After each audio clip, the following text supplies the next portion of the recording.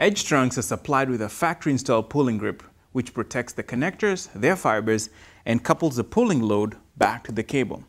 Do not disassemble the grip before installation.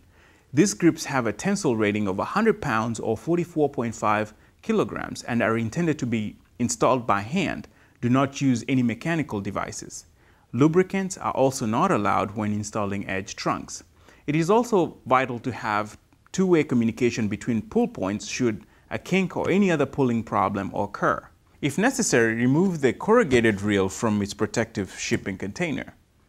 Place the cable on a reel stand and ensure that the cable will pay off from the top. And then attach the pulling line to the pulling loop. Place the cable per standard industry practice, making sure not to exceed the pulling tension or the minimum bend radius.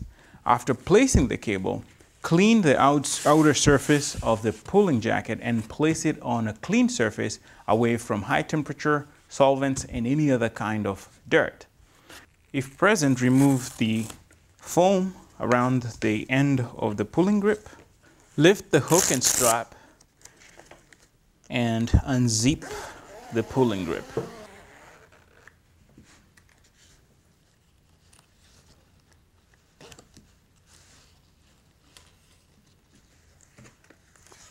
Grasp the coupler with one hand and with the other, slightly twist the corrugated tubing to remove it from the cable.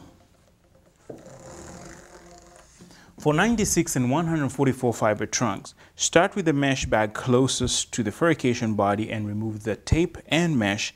Unfold the legs from around the bend control radius device and repeat for the middle and the end mesh bag.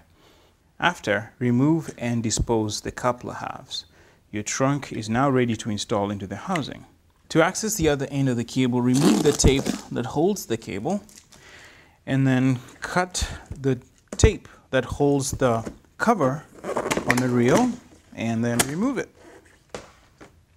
Inside, release the Velcro straps holding the cable.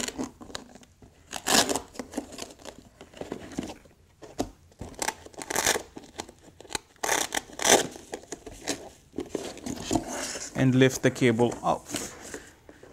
There is a bag that contains the cradle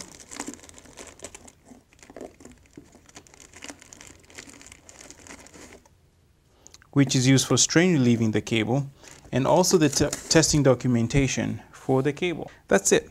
I wore my gloves to avoid the possibility of injury when handling the reel.